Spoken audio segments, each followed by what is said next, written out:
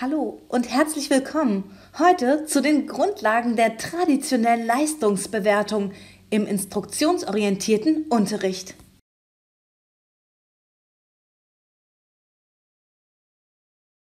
Für den Leistungsbegriff gibt es tatsächlich unterschiedliche Definitionen. Im Schulkontext versteht man unter Leistung die Ausführung einer geistigen oder körperlichen Tätigkeit, die mit einem gewissen Maß an Anstrengung verbunden ist. Da bezieht sich die Leistung auf einen Prozess. Oder aber das Ergebnis einer solchen Tätigkeit, das an einem Maßstab gemessen wird. Die angelegten Maßstäbe für diese schulische Leistungsbewertung bzw. Notengebung können dabei sehr unterschiedlich ausfallen und weisen jeweils Vor- und auch Nachteile auf. Hier werden drei Bezugsnormen zugrunde gelegt.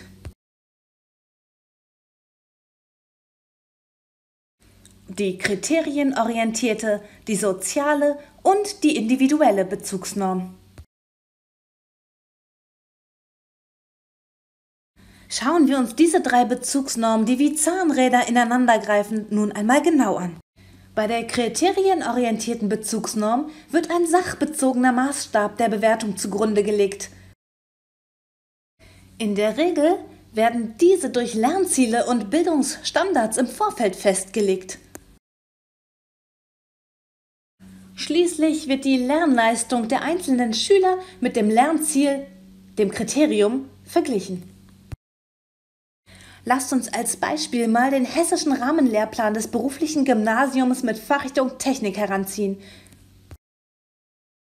Denn hier steht als Lernziel, dass die Schüler und Schülerinnen grundlegende metallische und nichtmetallische Werkstoffe und deren physikalischen und chemischen Eigenschaften unterscheiden können sollen. Das Erreichen dieses Lernziels kann gut durch einen schriftlichen Test dann überprüft werden. Die Distanz dieser Prüfungsergebnisse zum Lernziel gibt einerseits Rückmeldung über den Erfolg der bisherigen Lern- und Lehrbemühungen und andererseits auch Auskunft über die noch zurückzulegenden Lernschritte, bis das Lernziel erreicht ist. Und nun können wir über diese kriterienorientierte Bezugsnorm eine Pro- und Kontradiskussion führen. Stellt euch einfach ein Bild von verschiedenen Tieren vor, die unter einem Baum stehen.